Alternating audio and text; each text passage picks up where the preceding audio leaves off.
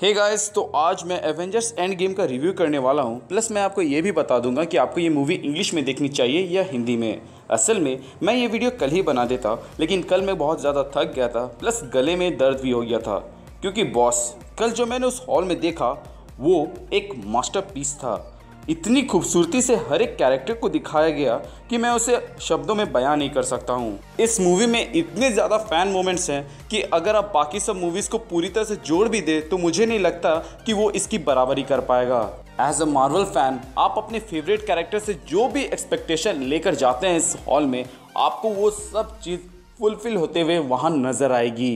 मैं personally mentally prepared होकर गया था कि भाई इस मूवी में मुझे रोना नहीं है। आई नो मार्वल वाले इस मूवी में जी जान लगा देंगे, ताकि हम रो दे, ताकि रुमाल की सेल बढ़ सके। बट जितनी भी तैयारी आप करके जाओ, वहाँ पर आँसू तो आ ही जाएँगे। मेरा जूनियर इतना ज़्यादा इमोशनल हो गया था एक पर्टिकुलर सीन को लेकर कि वो मूवी हॉल छोड़ते छोड़ते तक उसके आँखों में नमी थी और बहुत ही ज़्यादा उदास भी था, जिसे देखकर मुझे अपने उस पल की याद आ गई, जो मेरा हाल हुआ था लोगन मूवी देखते वक्त क्योंकि उस मूवी में भी जिस तरह की एंडिंग दी गई थी, वो बर्दाश्त करने लायक नहीं एंड जितने भी लोग आपसे कह रहे हैं ना कि पानी कम पीकर जाना ताकि सुसु ना लगे, मैं कहता हूँ, जितना पानी हो सके उतना पीकर जाइएगा, क्योंकि पहली बात तो गर्मी है। दूसरी, ये कि मूवीज़ में इतने ज़्यादा फ़ैन मोमेंट्स है कि आप चिल्लाते चिल्लाते आपका गला सूख जाएगा, जैसे मेरा सूख गया था। इस मूवी की बहुत सारी खास बात में से एक खास बात ये थी कि उसकी कलर ग्रेडिंग बहुत ही ज़्यादा औसम थी स्पेशली एंड फाइट सीक्वेंस के दौरान। तीन घंटे की मूवी में आप एक घंटा लोटपोट होकर हंसेंगे, एक घंटा आँसू बहाएँगे और एक घंटा आप एक्शन देखिएगा। और इसी तरह आप पूरे तीन घंटे इतना ज़्यादा एंजॉय कीजिएगा कि आप किसी को बता भी नहीं सकते कि आपने कितना एंजॉय किया। बहुत बहुत ही ज़्यादा छोटा शब्द हो जाएगा। कि आपने उस मूवी को कितना ज़्यादा एंजॉय किया है। झूठ नहीं बोलूँगा। मेरे हिसाब से ये मूवी मार्वल सिनेमैटिक यूनिवर्स की अब तक की बेस्ट मूवी है। सुपर हीरोज़ कैटेगरी में one of the best movie है। और अगर हम इसे नॉर्मल मूवीज़ की तरह ट्रीट करें, जैसे हर एक मूवीज़ को ट्रीट करते हैं, ना कि उनके जेनरे वाइज में जाकर तो इस मूवी में प्लॉट ड्रॉप है, लेकिन वो प्लॉट ड्रॉप ही इतने खूबसूरत है कि आप उसे प्लॉट ड्रॉप कंसिडर नहीं कर सकते, क्योंकि वही इन चीज़ को, यानी कि इस मूवी को इतना खूबसूरत बनाती है कि ये एक मास्टरपीस कहलाने लायक हो जाती है।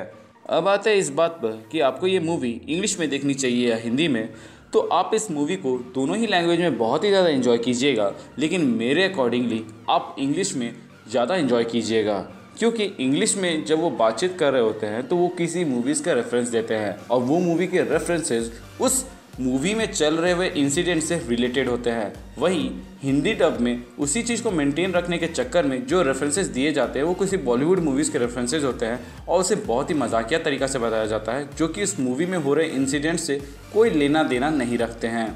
इसीलिए आप जिस लैंग्वेज के साथ कंफर्टेबल फील करते हैं, आप उसे उसी लैंग्वेज में देखें। मेरे पिछले वीडियो जिसका title avoid spoilers Marvel fans था, उसमें बहुत से लोगों ने कहा था कि उन्होंने कुछ स्पॉयलर्स देख लिया है और उन्हें कुछ पता चल गया है, जिनकी वजह से उनका मज़ा किरकिरा हो गया है। लेकिन यकीन मानिए दोस्तों, जब आप उस मूवी को हॉल में देखेंगे तो आपको एहसास होगा कि आपने कुछ देखा ही नहीं था और आपको कुछ मालूम ही नहीं पड़ा।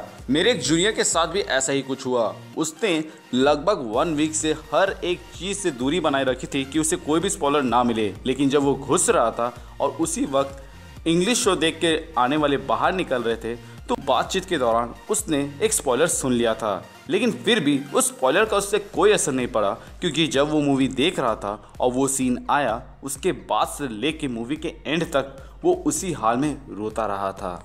और अभी भी मेरे बहुत सारे वीडियोस में लोग स्पॉयलर्स पे स्पॉयलर्स दिए जा रहे हैं, जबकि मैं कम्युनिटी टैब इंस्टाग्राम फेसबुक में हर जगह ये बोल रहा हूँ कि कहीं पर भी स्पॉयलर्स अभी ना दे, एक ही दिन हुआ है, बहुत सारे फैंस अभी तक नहीं देख पाए हैं, लेकिन फिर भी लोग दिए जा रहे हैं। तो इस वीडियो में मैं कमेंट बॉक्स डिजेबल रखूँगा ताकि उन्हें वो मौका ना मिले, चाहे वो अनजाने में ये जानबूझकर कोई भी स्पॉयलर्स आप लोगों के पास मेरे थ्रू से ना पहुँचे। मैं जितना हो सके उतना रोक रहा हूँ, लेकिन फिर भी कमेंट करने की तादाद बहुत ही ज़्यादा है, जिसकी वजह से मैं बहुत सारे कमेंट्स डिलीट भी नहीं कर पा रहा हूँ। इसीलिए इस वीडियो में कुछ दिन तक कमेंट्स डिजेबल रहेंगे। एक सॉरी उन लोगों के लिए जो मेरे वीडियो को देखते ही कमेंट करते हैं। और एक सॉरी उन लोगों के लिए जो वीडियो का नोटिफिकेशन पाते ही झट से फ़र्स्ट फ़र्स्ट करके लिखने लगते हैं। मैं लिटरली आप लोगों को इस वीडियो में मिस करूँगा, लेकिन अगले वीडियो से सब नॉर्मल हो जाएगा। बिना स्पॉयलर दिए मैंने सोचा नहीं था कि मैं इतना बड़ा वीडियो बना पाऊँगा बट स्टिल ये बन चुका है। तो अब ये अपलोड होगा। तो thank you guys for watching this video और हमेशा याद रखें, लोगों की मदद करें, अपना ख्याल रखें, और कीप मूविंग फॉरवर्ड का रट लगाकर आगे बढ़ते रहें।